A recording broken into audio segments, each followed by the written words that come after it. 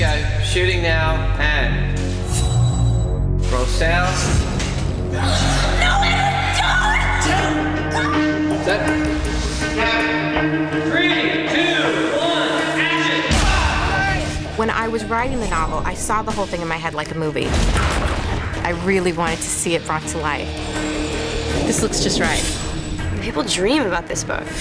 It's our first day of shooting. We picked the most difficult set ever. Not one shot is. Love it. Welcome to Twilight. Roll it! Roll it down!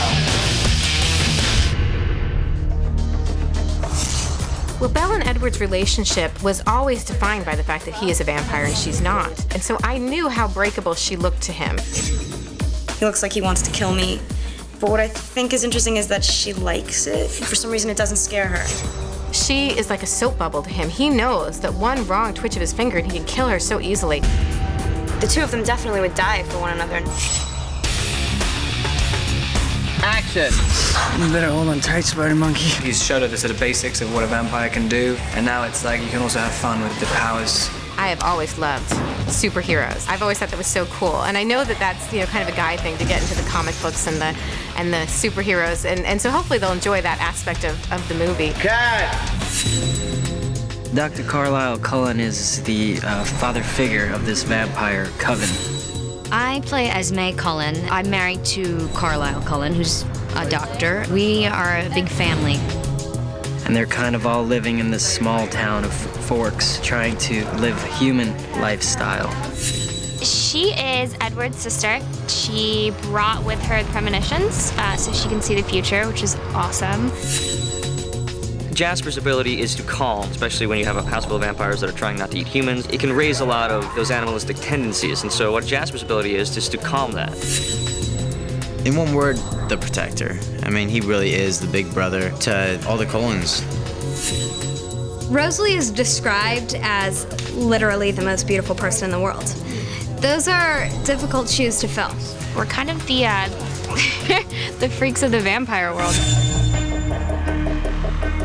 James fits into the story of Twilight because he is a tracker and he basically hunts humans with his two cohorts. Victoria is one of three nomadic vampires who you meet uh, in your journey and um, keep away. so what we're about to film is a scene where uh, the three of us find our next victim, either because we're hungry or because James likes his uh, leather jacket. We're not sure. We taunt a little, and then we come in and thieve and devour. I'm off. Hey, getting ready to eat some human beings. My favorite is the fight scene. It's amazing. It's fun to play a vampire. That's how you kill vampires. I love my job. I'm excited about it. It's pretty awesome.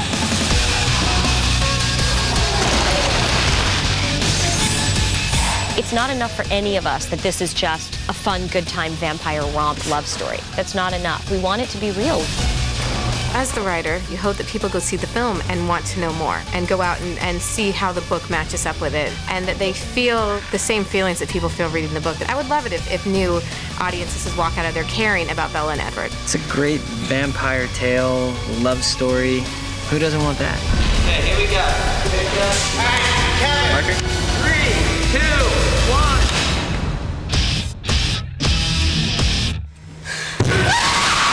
We're killing some people today. And cut.